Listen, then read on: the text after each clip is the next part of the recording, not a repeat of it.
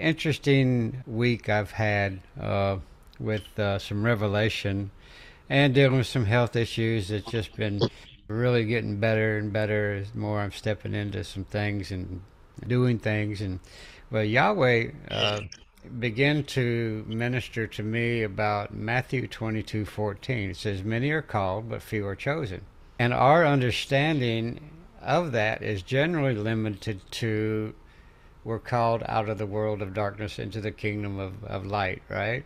But he, God began to share with me a little bit more beyond that because I've been thinking, what's the difference in the called out ones, the ones who are called, and the ones who are chosen, and the elite? And so I began to uh, couple that with the 11 dimensions, mostly from a scientific uh, uh, basis, and we'll get into that in a minute. But he's beginning to release an understanding to me of the differences between the calling and the chosen and the elite based on that scripture. And, you know, we tend to think things one way and one way only, the way we learned it. And in this season of time, we have to begin to test every thought, every mindset that we have because he's changed everything. And so, what he was referring to me, your calling, many are called, your calling is your anointing. And many of us are stuck in, oh, I've received this anointing from the Lord, and we're stuck in that anointing for as long as we walk on this earth. But there's always more. So, the calling is our anointing, and our calling is a limited dispensation until fullness comes. I've said that about the seven mountain mandate. It's a limited dispensation. I've said that about the fivefold ministry. It's a limited dispensation until uh, we come into the to the perfect man, walking in the full stature of Jesus Christ. So your calling is for now, but we don't want to get stuck in in just our calling. We want to begin to move beyond that into our mature, uh, perfect man that we can move in whatever fivefold ministry that we could. You know, Jesus wasn't limited to be an apostle or a prophet. He was a teacher. He was everything. And so mm-hmm. he was the firstborn of many. So we can be that too. We'll get into that a little bit more. And the chosen one is one who has embraced the maturation process and will function as ambassadors, co creators, governors, and legislative and judicial sons. That's the chosen ones. That's the process of maturity to a son. But now he said the elite is beyond that. And we'll share some things about the 11 dimensions from quantum, uh, string theory that uh, are scientific explanations of what's going on here. And so the elite are those who author have been fully authorized to function in as he is, so are we in this creation and in all dimensions, all 11 dimensions, not limited to just three dimensions. I mean, if we just think about it, how many dimensions am I just living in daily? Probably three height and depth. That's our limitations.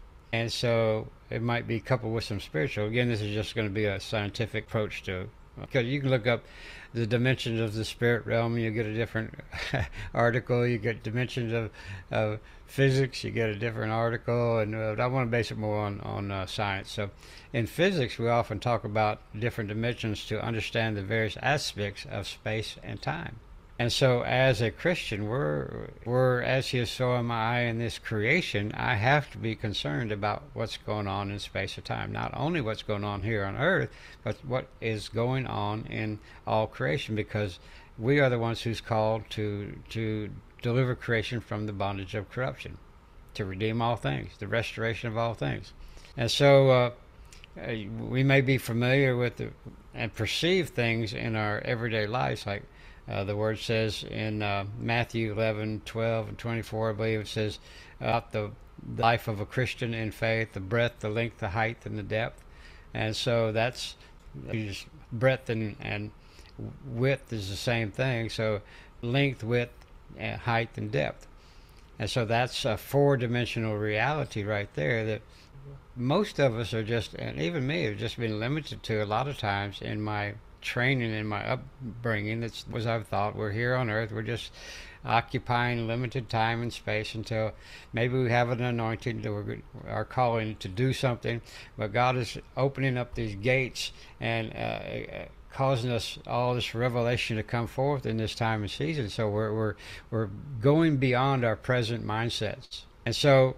Uh, the, the three dimensions or four dimensions that we're talked about in our everyday lives are, are length, width, and height. And these are dimensions that give objects their size and their shape. So we determine uh, things by what we perceive, or things we way we've learned it, or the things we think about things. There are lim- most of our thoughts are limited to a three-dimensional or four-dimensional reality, and there's way beyond. There's a reality beyond uh, everything uh, that uh, is out there. And so, again, Mark, Mark 11, 22 through 24, and Ephesians 3, 14 through 19 says there's a Christian has uh, knowledge of the breadth, the length, the height, and the depth. True, but there's so much more to it that's kind of hidden in Scripture that's hidden in science. Science is science is just the revelation of how God does things, right? so it's always connecting and always we're always learning uh, different things. So scriptures actually back it up in Psalms 90, verse 4. It says, A thousand years in your sight are like a day that has just gone by, or like a watch in the night. A thousand years is like a day. So that's moving in a different dimension. We just related it to a linear dimension from one spot to other spot that's like, oh, a thousand years is just a day. But if you think about that differently, I like to challenge my own mindsets. I like to think about things differently. And when I begin to look at these 11 dimensions, I go, oh, that's the ability to travel beyond our present mindset of how time works. If you'd go back and look at Justin Abraham's most recent uh, broadcast, he talks about time. Yeah. He explains a lot of this right here, and it's really, I think it's one of his best videos. It's a mm-hmm. lot of things what we're talking about here tonight and what we talk about all the time. So a thousand years is like a day. So we're transcending the dimension of time and moving in and out of time, not restricted by time. Justin said something so powerful. He's like, we on Earth were created with the sun and the moon and the stars that regulate time, but what about other, other planets? Yeah. Mm-hmm. They were created in a different time frame. So how do they view time? They might be a different view than what we view in our perspective here on earth. So uh, another thing, uh, God transcended time, dimension, and it appears in the New Testament in uh, 2 Timothy 1 9. God said, uh, Who does not lie, promise the hope of eternal life before the beginning of time. And so we uh, that's interesting because we tend to look at our life, well, we're born on this particular day and we'll die and this we start eternal life then. But the truth of the matter is, eternal life began when he knew us before the foundation of the world. Yes. What was that life like? How did we we were light beings back then. He, he uh, knew us, so we obviously knew him. I want that relationship stored. Mm-hmm. I want I want to see that. I want to experience that. So that's the fullness, not just back to to how uh, Adam lived before the fall or Eve lived before the fall. It goes way back beyond that. So it transcends our current uh, perception of how time works. I'm more and more getting outside of this realm of time, and, and I'm just enjoying my space there. It's like oh, you know, this is really good. I talk more about the fourth dimension of time here in a minute, but he's promised us eternal life before the beginning of time, which is pretty cool. So a lot of us don't think about that. In string theory now, in fit the uh, the physics of string theory, scientists explore additional dimensions beyond what we can directly sense. Who's that on there? Can you mute, please? And uh, I want to read a scripture. What is faith? Is that me echoing? No. Romans 12. No, Hebrews. I'm sorry. What is faith? Now, faith is the assurance of things hoped for and the conviction or the evidence of things not seen. That's the key scripture.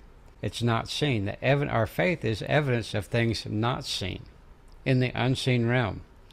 So that is the substance of things hoped for or the evidence of things not seen. For by it the people of old retrieved their commendation. By faith, we understand that the universe or the worlds were created by the word of God, so that what is seen was not made out of things that are visible. Now, isn't that interesting when we're talking about all eternity before the foundation of the world, all the way through to uh, never ending eternity? That's outside of the realm of time as we perceive it.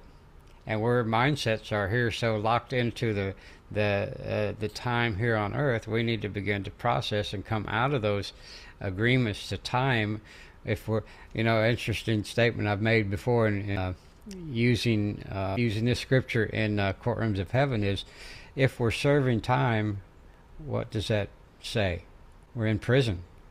Isn't that what they say? I'm serving time for this or that. I'm serving time for my lack of perception of realities. And so the string theory talks about all this dimensions beyond what we can directly sense or see. Hebrew sage known as Nachmanides wrote in the 13th century uh, and concluded that the book of Genesis that the universe has 10 dimensions but only 4 of them are knowable by man. Knowable is in quotations. I would like to take that knowable out because uh, if we are uh, one with Christ as He saw Him in this world, we're partnering in His omniscience. And so it's not unknowable. And that was just their perception of it's not knowable beyond the four dimensions. So uh, God is not conformed or confined to the three spatial dimensions at, at, at one time dimension. Neither are we. But yet we talk about, we have the language of re- limitations by time and we're in prison because we're language, our, our decrees and our declarations are all related to time. One day. Or, you know, when I go to heaven, I'll do this, I'll be able to do that. You know, the language can go on and on, a lot of different things, but we have to think how am I creating from the unseen realm into the seen realm by faith. And so God is not conformed to three spatial dimensions. He's all dimensions, and neither are we. And so, uh, an observer living in four dimensions cannot see all of it. Uh, of the 11 dimensions form, although uh, ultimately God cannot be seen because he has chosen to be seen only through the eyes of faith. And so, as we exercise our faith rather than hope or one day or saying, I can't, we exercise our faith and step into Hebrews 11:1 by faith. Now faith is substance, is the tangible reality of the things I hope for, and the evidence of things that are not seen. Actually, your faith, if you want to go back to courtrooms of heaven, your faith provides a testimony in the courtrooms of heaven. If you look up a couple of scriptures, uh, you'll see uh, uh, I didn't write them down here, but you'll see what I'm talking about. Your faith is actually a living being that testifies on your behalf in the courtrooms of heaven, whether you operated by faith or you didn't. So God and we can move freely through all 11 dimensions, and it would re- illustrate how we can move outside of the realm of time. String theory looks really promising in, in these space time dimensions. There's a man named Dr. Hugh Ross says the remarkable advances of research reveal a God who lives and operates in the equivalent of at least 11 dimensions of space and time. Now, some of these articles, there were some people that said there can be up to 26 dimensions. It's all theory. It's not proven science yet, but 11 dimensions are becoming more and more uh, beyond theory, they're being proved by science that this stuff is real. So we're going to talk about those 11 dimensions here in a minute. God is transdimensional, so so are we. Omnipresence, omnipotence, is omniscience. So that's able to move in any realm of time, past, present, or future, that we need to. I would challenge you. You could probably go into into uh, in the spirit into Him and reveal what 50 years from now looks like or you can go back a hundred years, a thousand years, five thousand years, and reset, or you can go back before the foundation of the world and find out what was your idea of me before the foundation of the world. That's actually when your scrolls were created back at that time. And so that would be a good time to step outside of the realm of time and go inquire of the Lord and find out what is written on my scrolls. And you agreed, the, the sages, Hebraic sages, mystical sages actually say that you agreed to everything that's on your scroll. So everything that you're that's happening in your life right now and throughout your whole entire life, you agreed to it. You're good, the bad, and the ugly. It's all for your good. All things work together for the good who's called for those who what love him. And so we look at the evil situations uh, as, or, or dark situations as evil. When I begin to look at negative situations in my life from God's perspective, there was peace and there was joy and there was rest because I didn't have to fight a demon. I, I said, God, what are you trying to reveal to me? What, do I need to learn in this particular situation? As if I'm outside of the realm of time, as if I'm back with Him uh, before the foundation of the world, engaging with Him there to find out what, what my what is written. Jesus used against Satan. It is written. Now he didn't have the Bible to go by. He had the original scroll of destiny, what he was created for. He said, It is written on my scrolls that you have authority over you and you can't do what you're trying to do. And same thing with us when we face uh, darkness or evil. So uh, let's see. Ten dimensions include one dimension of time and nine dimensions of space. So we'll talk about those. Again, 26 possible extra dimensions that uh, I haven't found any definition or explanation of them yet, but somebody mentioned, a couple people mentioned uh, 26 possible dimensions. I'm going, ooh, what is our real potential? So, uh, superstring theory is one of the leading theories that attempt to explain the nature of the universe. And according to this theory, the different aspects of the universe are governed by 10 dimensions. Governed by 10 dimensions. Isn't that an interesting phrase? The leading theories that attempt to explain the nature of the universe according to that theory, the different aspects of the universe are governed by 10 dimensions. Or, in other words, by us operating in our full potential in every dimension, every time and space, every place that we need to govern as He directs. So that's just like boom. My mind began to soar. It's like, oh my gosh, it's way beyond what we consider our calling, what we consider our anointing. It's way beyond being being uh, uh, a legislative and judicial son. I believe it's kind of a transitionary place where, but that elite means that uh, he has the authority to to to uh, kind of a become kind of thing or kind of thing to govern and where, where authority is given.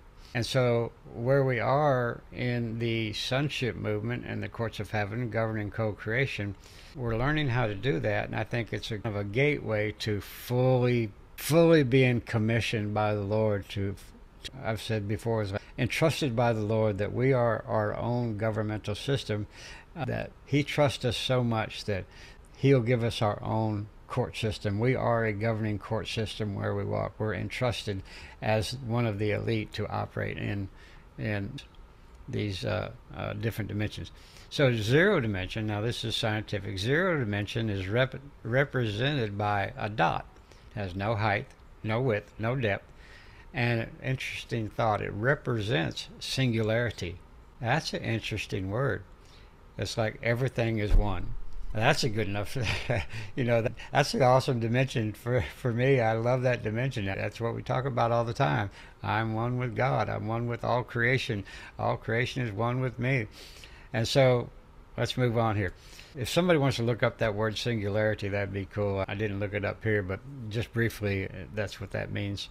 So the first dimension, uh, to that dot, it gives length uh, and uh, like A to B most of us live our life on earth. I'm trying here at point a i'm trying to get to point b and when i die. And that's the end of our existence. That's the first dimension. The second dimension is uh, adds height to it. So you have a, a, dimension that looks like a square. So we're moving into well okay maybe here's my authority over a nation or or that's a, limited dispensation. So we're understanding, okay, that's the second dimension. The third dimension is involves uh, a sense of area or cross section, almost like a cube. Has the appearance of a cube, so it has length, depth, a sense of uh, that dimension within the cube. So it gives us a three dimensional view of volume, you could say, a volume within a cube. So uh, that can be represented by some different things uh, in creation under the earth, on the earth, uh, in a certain realm of heaven. So uh, still limited. So beyond that, the, the is is where we generally live and move and have our being in this limitation we call three dimensional. But the next dimensions begin to stretch my imagination a lot. begin to share how we are uh, being matured to move in some different things. So beyond the three uh, lie the seven dimensions, which are not immediately apparent, so we don't perceive them, but which we can still perceive them, uh, and that they're having a direct effect on the universe and everything and reality as we know it. So the fourth dimension is guess what? Time. The fourth dimension is time which governs the properties of all known matter at any given point, any given moment in time, and along with the three dimensions of knowing an object's position in time is essential to plotting its position in the universe. So it becomes a galactic type mentality how I'm doing, how am I affecting thing in the cosmos. As he is, so am I in the cosmos. It goes beyond asius are we in this world. World means cosmos. If you look it up in the Greek, it's cosmos. So all of creation, that the fourth dimension expands us into beyond this earthly uh, perception into a fourth dimension, which includes all of creation, and that we have the ability to govern certain objects and position within the universe, within all creation. Don't ask me how to do it. We're learning. We're moving through uh, this maturation process so that we would be entrusted to come to the place where He can really use us in a much more powerful way. So, superstring theory talks about the fifth and the sixth dimensions, and uh, the notion of possible worlds arises. So, all of creation comes into play there. Other worlds come, other uh, dimensions of creations, black holes, everything that you can see, universes, galaxies, are, are of of that we're talking about in the, the fifth and the sixth dimension. It moves us out of just having a little impact here on Earth to have an impact in all creation. And I think I've shared a story that uh, God has been, I don't know if you could call it a test, it's maybe a practice session where He's taken me up in the cosmos and showed me some uh, demonic uh, portals that he wanted me to close. And I said, Lord, I don't dare do anything other than what I see you do because I have this fear of the Lord. I don't want to create or destroy anything outside of your will. I have to be like Jesus. I'm only going to do what I see the Father do, only going to speak what I hear him say, and on, only thing as a result, if you see me, you see the Father. It's not to build up my ministry. It's a place of unknowing. It's a place of no recognition. It's a place where we can get more done in the quiet place than we can building a congregation, building a network, building a ministry. I think this is a major revelation for the way God is bringing His sons, His legislators, His co-creators, His governmental ambassadors that He's taken us into all creation, just not here on earth. And so, the uh, if we could see a, into the fifth dimension, we would see a world much different from our own. That would give us the means of measuring similarity and differences between our world and other possible worlds. So, as co creators, we can, can see maybe something that has been corrupted by the enemy and have the authority, authority, the, the elite status of the Lord that would give us authority, permission to to to deem or or, or uh, deliver creation from the bondage of corruption. When that scripture is like when I'm reading this, I'm going that scripture just just expands to a whole different dimension because we just think about uh, delivering creation on this world from the bondage of corruption, but this is the entire created world, an entire creation that we're talking about here. And uh, so uh, there's a theory theory of ev- everything The theory of everything is the belief that the universe is made up of 10 dimensions for more, possibly 26, depending on which model of string theory you use. It's attempt to explain all known forces within our universe interact and how other possible universes themselves might work, how they interact, and how they are, are uh, singularity comes into play. Everything is connected. Everything is uh, quantumly entangled. Everything is one in singularity. All, all we are already uh, in singularity with all creation. We just don't perceive it. Our limited mindsets. Father, we just break the limited mindsets off right now of our limitations. We've been limited to just this earth and just our, our calling, just just even our, our chosen status, that you're taking us beyond that. You're taking us to an elite status.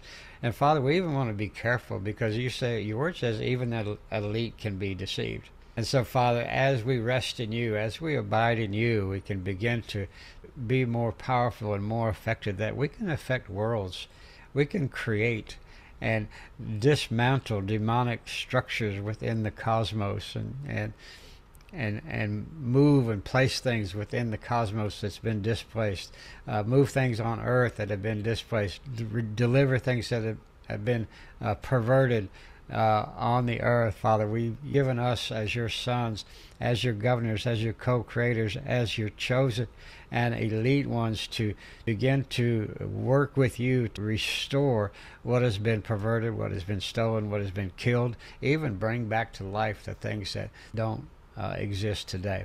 So that's kind of it. I just wanted to share that revelation that we are more we are more than we think we are and as we begin to process all these different dimensionalities and move into these areas where we come and move and have our being in Him, we live and move and have our being in Him, and we must allow Him to live and move and have His being through us.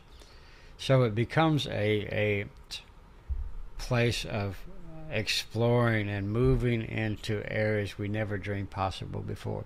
And I want you just, I just want to encourage you to begin to inquire of the Lord and ask Him, where have I been limited?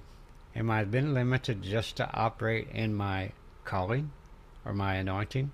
You know, that's what we saw a lot in the apostolic prophetic. That was the end, the highest result of everything we did. Everything caps off at that apostolic and, and prophetic, but that's that's limited dispensation.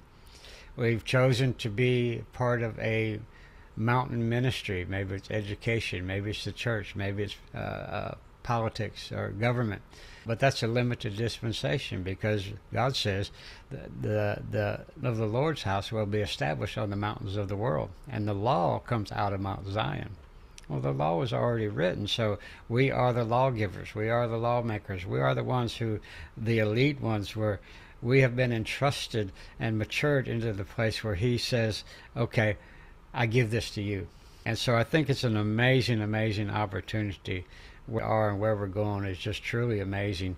Ask the Lord to to be free from all limitations. I was going through this this about the eleven dimensions. I'm going, man, this just really expanded my mindsets. Where where I'm limited in my mindsets, my perceptions. I was like, you know, maybe I affect uh, the creation a little bit outside the realm with my testimony I just shared, but but then God, God just says, you know, it's way bigger.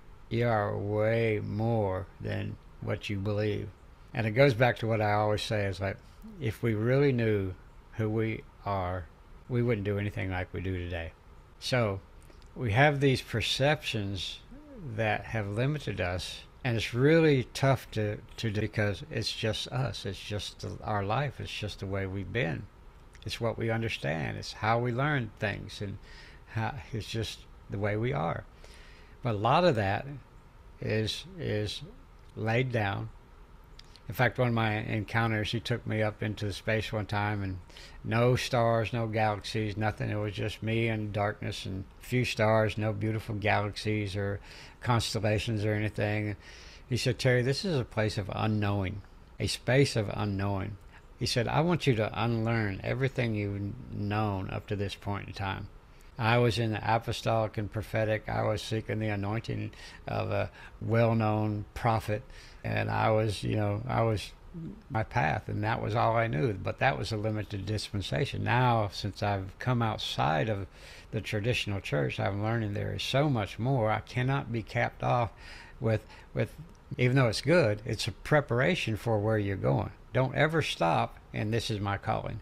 Don't ever stop, and this is my anointing. You'll be limited. You have to begin to expand everything about you and, and test and weigh everything. Search me, O God, to find out if there's anything that stands in the way of my full potential. Isn't that interesting? So I want to open it up for a little conversation here. And uh, uh, do your own research on those uh, string theory dimensions. It's pretty uh, involved and pretty awesome and amazing. I, I saw several articles, pulled a little bit of this out of that, but uh, I go, man, we're just babies, babies in the thing. But thank God he's he does so much that he's taken us on this wild, crazy. We know nothing about. We don't know how to do it, but out of our intimacy with him, he's going to get us there. And some of us are a little bit ahead, some of us are a little behind, but we're all in this singularity together. We're all quantumly entangled, and so I bless you guys. Uh, I'm glad you're in my life, and you chose to skip the Super Bowl tonight. That's pretty awesome. so, so hope this message just just uh, resonates you and uh, vibrates in your spirit and your soul and your body, where where you get to see there's something much much more. And we've always asked it. There's got to be more. And this took me into the realm of what what's there, and then even what's beyond the 11 dimensions into the 26 dimensions. I think that goes into parallel universes, and Yeah. and uh, that's one idea. I don't know. It's my theory. I believe it goes into that at different uh, places in time, and and uh, so it's interesting what's happening.